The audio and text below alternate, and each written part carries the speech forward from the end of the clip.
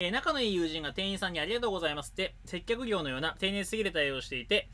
えー普通にしたらって指摘したら冷静になりたいって距離を置かれてしまいました。未だに友達のことを忘れられません。えー辛いです。どうしたらよいですか？ということなんですが、